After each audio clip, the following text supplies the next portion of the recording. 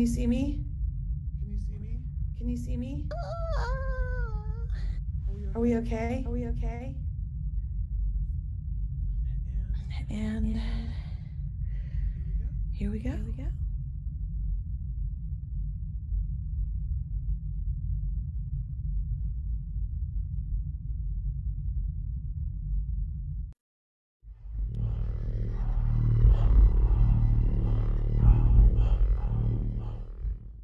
A few years ago, a conspiracy theory about one of the world's favorite actors was posited by a Redditor in a now deleted thread, but recently it began to resurface. The theory being that Jim Carrey was allegedly hiding a very dark secret.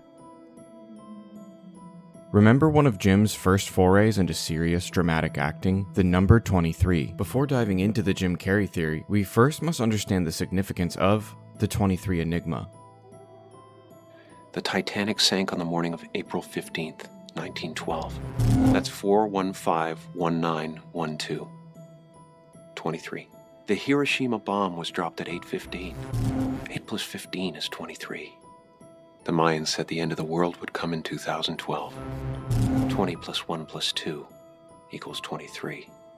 The 23 Enigma seems to trace back to author William S. Burroughs. Burroughs was talking with a man known as Captain Clark in Tangier, who was bragging to him that he had been sailing for 23 years without a single accident.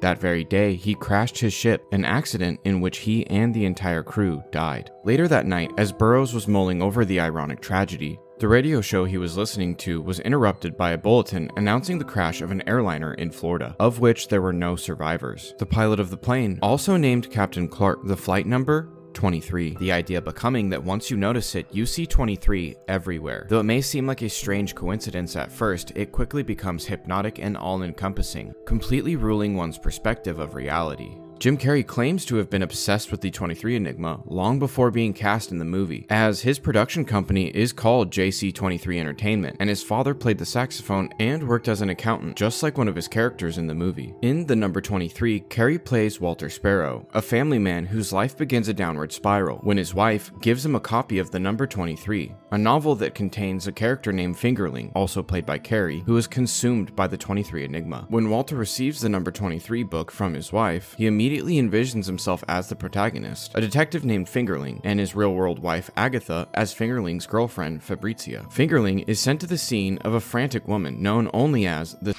blonde, who rants about the number 23 and that it ruined her life. He then witnesses her jump to her death. Later in the movie, as Walter is desperate to find out more about the number 23, which is now seemingly ruining his life, a man attacks him with a box knife before abruptly turning it on himself, cutting his own throat. These are two of the four suicides featured in the movie, all of which Walter, or what turns out to be his past self, Fingerling, is present for. And this is where No One and Nobody Sevens theory starts to take shape. The Twitter user theorizes Jim Carrey may actually be a serial killer who hides his crimes by masking them as suicides. And although I don't quite buy into the theory, there are some bizarre synchronicities. The following is one of the creepiest coincidences this user points out. Actor Charles Rocket was cast on Saturday Night Live for the 1980-81 season, beating out a young Jim Carrey for the role. Years later, in 1994, Rocket was cast as the conniving villain in Dumb and Dumber, one of three movies that released in that one year that propelled Carrey to absolute superstardom. Take a look at this moment from the film.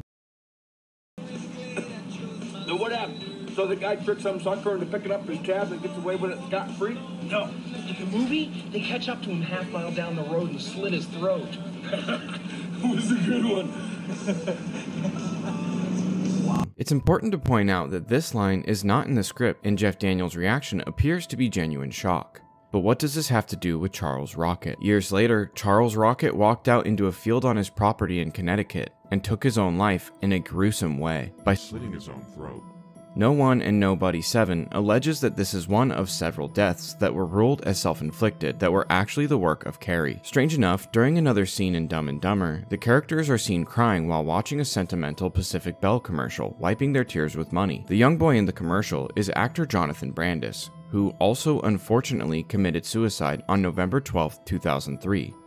11 12 2003 23 23 Tragically, in 2015, Carrey's girlfriend passed away and the death was ruled as a suicide. The coroner ruled that the young woman died of a lethal overdose of multiple narcotic prescription medications. Carrey's girlfriend was married but separated, and after her passing, a lawsuit by her estranged widower revealed that the medications were prescribed to Carrey under the false name Arthur King, which he then allegedly provided to her. Carrey denied any wrongdoing, and in 2016 the wrongful death lawsuit was thrown out. But the whole thing obviously plays into the theory, so No One and Nobody 7 goes much deeper and further into detail, although in my opinion, it never really leads to a concise theory, but more of a number of coincidences surrounding Carrey that quickly become harder and harder to follow. Go ahead. Tell yourself it's just a number.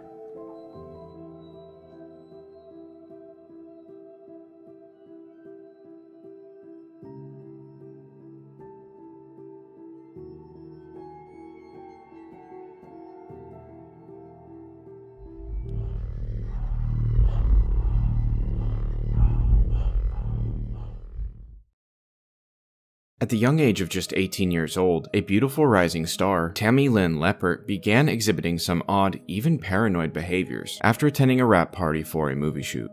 What happened next baffled all of her friends and family and still leaves investigators baffled to this day. This is the story of Tammy Lynn Leppert's bizarre disappearance. Tammy Lynn began modeling in beauty pageants at the age of four and had won over 280 pageants throughout the 70s and early 80s. In 1983, when Tammy was 18, she began her acting career in the movie Spring Break. The producer of the movie were seemingly infatuated with Tammy's beauty, as it said the torso featured prominently in the cover art was none other than Tammy's. When the movie shoot wrapped, the cast and crew threw a weekend long party to celebrate. Tammy Lynn decided to cut loose and attend the party. Whatever happened at this party, Tammy Lynn was never the same. Tammy returned to her mother's Rockledge, Florida home, panicked and seemingly paranoid that someone was watching her. Tammy's mother, Linda Curtis, was a talent agent, and at the time, an 11 year old client, Wing Flanagan, was living at their house. Wing began to notice the sharp turn in Tammy's behavior and was nervous as she was like a sister to him. Whenever the phone would ring, Tammy would race to it, demanding that whoever answered say she wasn't there and that they didn't know when she'd be back. It was after witnessing one of these occasions that her mother finally confronted her, asking her what was going on. Tammy broke down and told her mom she had seen something awful, something that she wasn't supposed to see. When Linda tried to get Tammy to elaborate, she clammed up and said she couldn't tell anyone anything about it. Linda and Wing could 100% tell that something was wrong. They just didn't have a good idea of what. Tammy was a kind, outgoing, compassionate, and confident young woman, and this massive, almost overnight shift into a paranoid, erratic, desperate hermit made no sense to them. They knew something must have happened, but they did have a feeling that at least some of her new fears were delusional. People were calling for Tammy, but that wasn't that unusual. This was the phone line Tammy could be reached at, and she was a busy professional model and now actress. At one point during this reclusive two full weeks she spent basically hiding from this unknown threat, she called Wing, the 11 year old boy, to look out her window for her. I said, Well, the neighbor's got a new van. And she said, Exactly. And, you know, I was, I didn't know quite what she was getting at. And she said, The van has mirrored windows. That means that they can see us, but we can't see them. The two week period of isolation seemed to be brought to an end when Tammy was cast as an extra in Scarface. Tammy was glowing, and her ability to light up a room even got her her first speaking role instead of just being an extra. While she was working on the movie, she stayed with family friend Walter Liebowitz. Just four days into the shoot, Walter received a call from the Scarface casting director, who informed him Walter would need to come pick Tammy up as she had suffered some kind of breakdown. The scene that was being shot that day had been one depicting violence which required a large amount of fake blood. Tammy had apparently seen this simulated violence and began screaming and hyperventilating. When Walter arrived at the trailer she was in, he says she was still in a state of absolute panic and fear, claiming that they were going to find her and kill her. She ended up quitting the movie and going back home to Florida, but she couldn't find peace there either. She felt so unsafe that she would only eat off of Linda or Wing's plate at dinner because she was sure someone had poisoned hers. On July 1st of 1983, she walked out the front door to leave, but immediately became hyper aware of just how many people were out in the neighborhood. And though they were just neighbors coming or going or enjoying the summer weather. To Tammy, there were threats. She turned to go back inside, but the door was locked. So she picked up a baseball bat off the lawn and smashed the front window out. This time, it took Linda hours to calm her down. After this incident, Linda took her daughter to a mental health facility where she had a full mental and physical checkup. And after a 72 hour holding period, they informed Linda that there were no symptoms of a mental health crisis and no drugs or alcohol in Tammy's system. So there wasn't anything they could do. But they did observe that Tammy believed that she was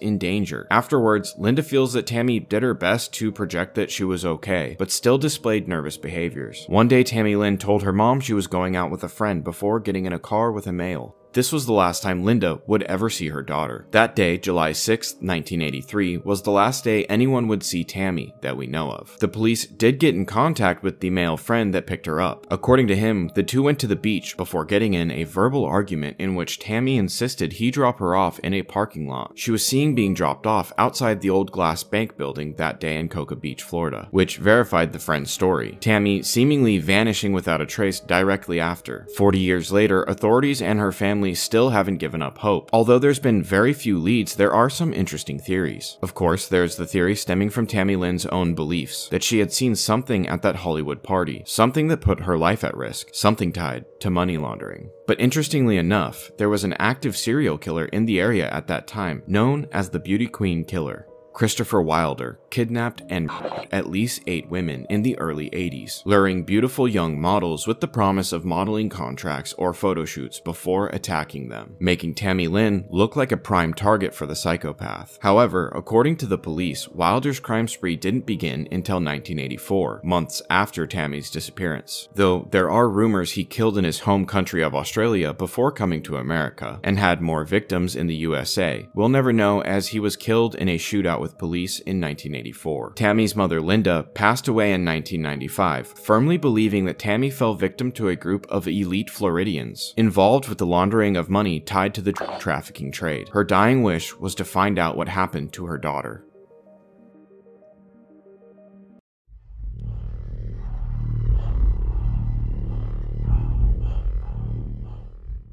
Miscavige. David Miscavige is, is the big cheese of Scientology, and you're friends with his wife, and you see that his wife isn't there. Right. And you asked, her name is Shelley, where's Shelley? At Right. This, there's this big wedding. Where's Shelley, and what happened? Well, I asked innocently, um, you know, where's Shelley? Because I thought it was odd. It was being, uh, they were calling it the wedding of the century, the, Mm-hmm. the church. And I said, well, where's Shelley Miscavige? And with that was a reaction of, you know, people just scattering. Well, I, I asked the, the spokesperson at the time, Tom Davis, uh, where is Shelley? I think it's weird that she's not here. And he said, you don't have the effing rank to be asking about the leader's wife. And I felt that I did have the effing rank to ask where a human being was. In November of 2006, as actress Leah Remini arrived at the 15th century Italian castle ceremony to see fellow Scientologist Tom Cruise marry Katie Holmes, she had just one question upon seeing the infamous and secretive leader of their movement, David Miscavige. Where is Shelley? When the creator of Scientology, L. Ron Hubbard, died in 1986, his chosen heir, David Miscavige, took the throne.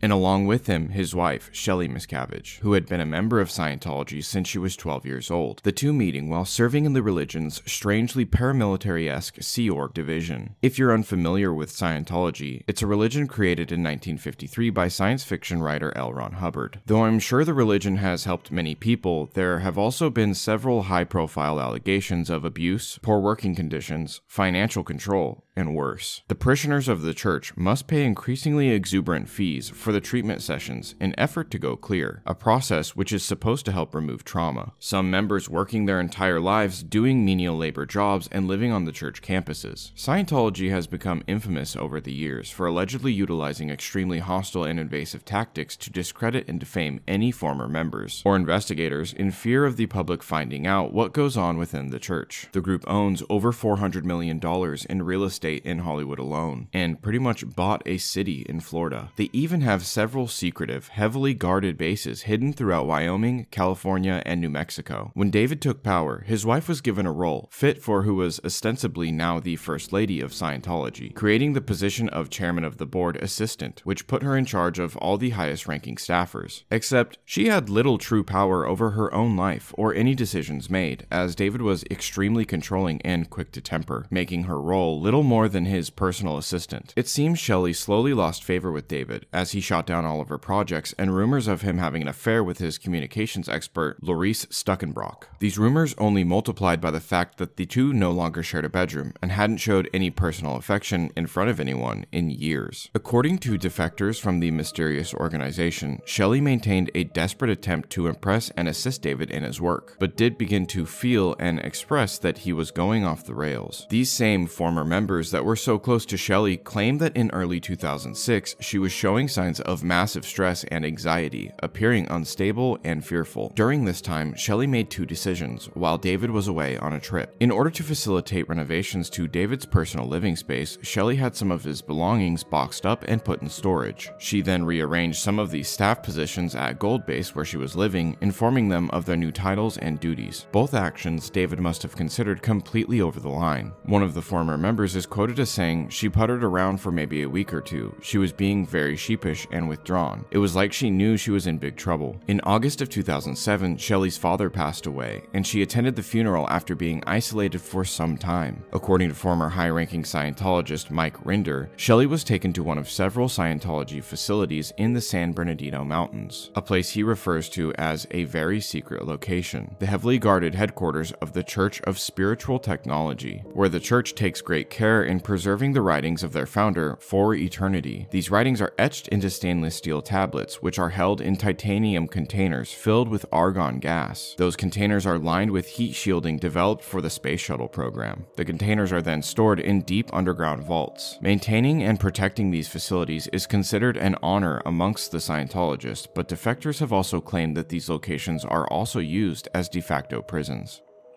It's been roughly 15 years since Shelley has been seen in public. 2006, when Leah began inquiring within the church about Shelley Miscavige and behaviors from senior members like Tom Cruise not being in line with the church's teachings, she was immediately sent to a church facility in the Scientology capital city, Clearwater, Florida, where she would spend a grueling 90 days in what can only be described as interrogation sessions. How long were you in Florida for? Uh, three months. 3 months of, of, of dealing with this? Mm-hmm.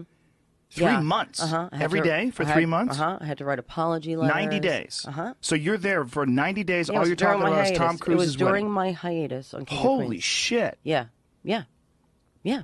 That's what I'm doing most of the time. I get these reports. I'm sent to um, Florida immediately, the mecca, the hub of Scientology. Clearwater. That's right.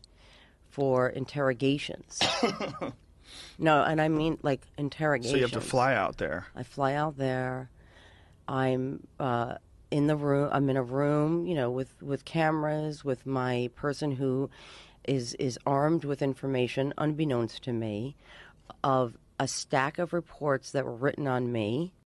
After Leah went public with her questions about Shelley's whereabouts, Scientology began going above and beyond to discredit and smear their former member. The church goes to great lengths to discredit those who speak negatively about it, including making a YouTube channel dedicated to painting Leah in as negative a light as possible, that produced several high production value testimonials from various figures in Leah's life, including her father, stepmother, loose acquaintances, all the way down to a manager of a Scientologist hotel and a home inspector whom Leah met once. Not a pleasant one, and I said, This is my profession. This is what I do. That is a hairline crack. That is not a, a concern.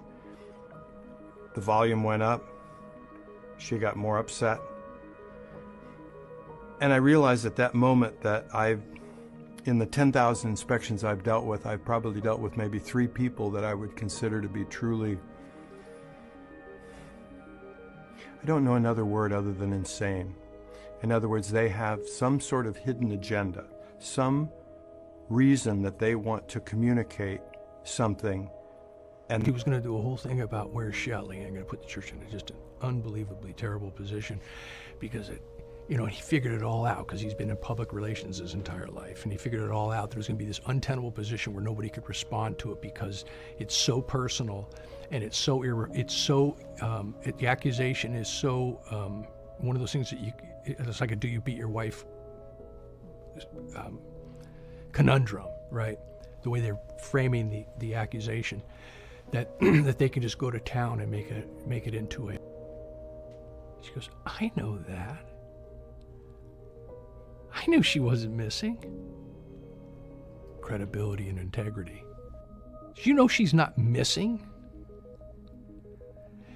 You know that Leah Remini truly doesn't have the rank to ask to know exactly where she is when and how she does her business that just as much as she that she um, feels like um, you know that she needs the credibility and integrity. You know she's not missing.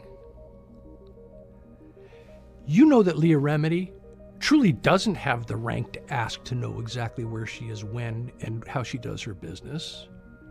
That just as much as she that she um, feels like um, you know that she needs the Mike goes yeah, yeah I know I know I know all that but it's like his perfect thing because it, it puts him in a position if it's the wife of the head of Scientology it puts him in his untenable position Why go to these great lengths to discredit one person, instead of just urging Shelley Miscavige to make a public statement? It is my personal belief that Shelley is unable to make a statement for one of two reasons. Shelley is long dead, or Shelley is being held against her will at one of the church's many properties.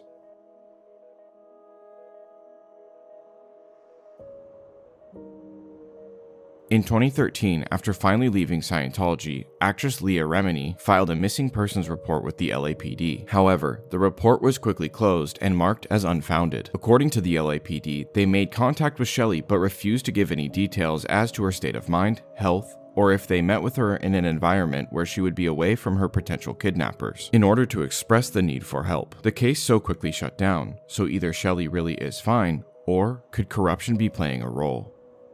In early November 2022, Leah Remini took to Twitter to provide a potentially disturbing update regarding her search for Shelley Miscavige, detailing how the captain who was in charge of the Hollywood division at the time Leah filed the missing persons report has ties to Scientology. Here's him accepting a $20,000 check from Scientology to an LAPD charity. And not only that, but Corey is now being investigated for providing confidential information to top CBS executives, which means he was allegedly selling confidential information to a television network. If he was willing to do that, it's not much of a logic leap to understand how easy it would have been to influence the LAPD's response to Leah's missing persons report. Leah also posted this picture of LAPD Lieutenant Andre Dawson, the detective in charge of her missing persons report into Shelley Miscavige, who also has connections to Scientology. Here he is speaking at Scientology's Celebrity Center at an event about human trafficking.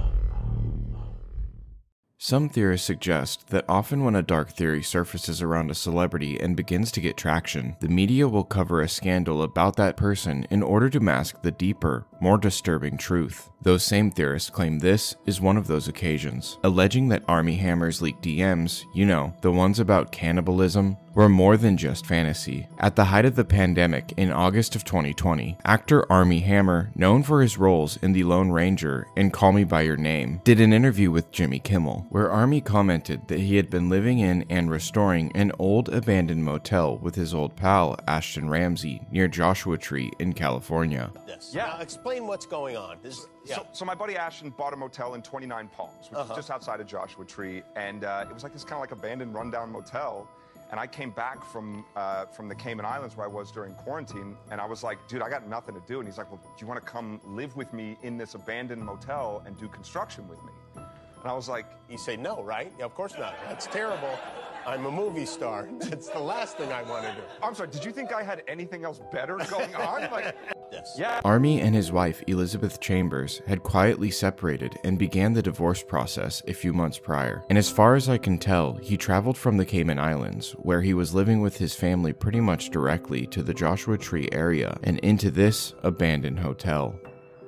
Oddly enough, at least three people vanished from the Palms 29 area while Armie was staying at the abandoned hotel. But why would anyone think he had anything to do with that? Well, months later in January 2021, an Instagram user named House of Effie leaked some extremely disturbing DMs between herself and Hammer from while he was still married. The DMs detailed the disturbing depths of Armie's depraved fantasies. Armie swiftly glossed over your average BDSM kinks. He showed an extreme amount of interest in consuming human blood, human flesh, homicide, and just overall physically harming whoever would be unlucky enough to be intimate with him. Hammer indicated that he knew a surgeon and wanted a woman to have two ribs removed in a surgical procedure so that he could barbecue and eat them. He even said he wanted to hold her beating heart in his hand and that he had eaten the heart of an animal he hunted. It wasn't just House of Effie. Several other women came forward with varying degrees of dark depraved messages from the actor. Now, knowing where the man's interests lie,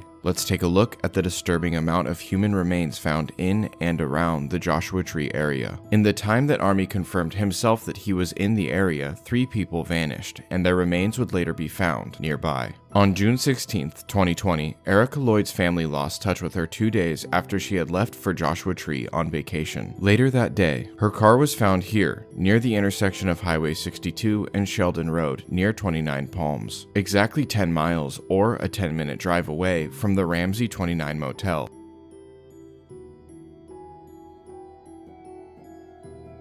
Later that day, her family desperately kept calling her cell phone, the only thing giving them some semblance of hope, as it was still on and ringing days later. Four days after her disappearance, someone picked up a mysterious male voice who said he found the phone on June 18th on Cottonwood Drive. This is Cottonwood Drive, less than a half mile from the motel where Armie Hammer was living.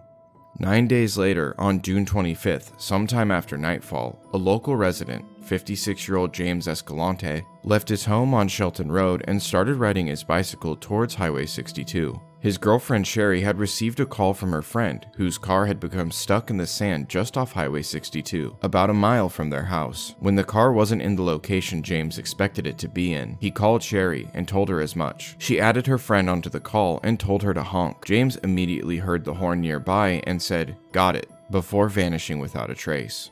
On July 22, 2020, human remains were found nearly in the same area, but remained unidentified. Cynthia Bachman, the county sheriff's spokeswoman, only confirmed that a body had been found. Erica Lloyd's family had hired an old mining and caving expert to search the Joshua Tree area for their daughter, and sometime in early August he found a red bicycle, the very bicycle Escalante was riding when he vanished. This discovery led to an enhanced search of the area, and two more sets of human remains were located. One roughly a quarter mile south of Amboy Road and Wilson Road. The other was not too distant from Shelton Road and Highway 62. It is believed that these remains belong to James Escalante. On January 21st, 2022, Erica Lloyd's remains were found as well, so the remains found at Amboy and Wilson do belong to a third victim. And as of now, there are at least six, but probably closer to eight mysterious death cases right in this tight little cluster. The connection between Armie and the mysterious number of deaths surrounding his time in 29 Palms is only made more frightening when you find out that allegedly, the violence didn't stay a fantasy according to House of Effie. Effie, the original leaker of the cannibalistic DMs, eventually made an impact statement during a press conference, in which she details a horrific four hour attack in which Hammer allegedly violently assaulted her repeatedly, bashed her head against the wall, and even beat the bottoms of her feet, causing extreme pain with every step she took in the following days, leaving her battered, bruised, and traumatized for life all completely without her consent. She begged him to stop and even tried leaving, but he wouldn't let her. Hammer denied the claims, releasing a statement through his lawyer. As of September 1st, 2021, the investigation is still ongoing. Effie also made an interesting comment saying, What he and his friends have done is worse than anything I ever posted. Justice will be served. The string of mysterious disappearances and human remains being found began in late 2019. We know that Armie was there in the direct vicinity for nearly three months in 2020. Is it possible there are one or more serial killers prowling the generally unprotected deserts of Joshua Tree?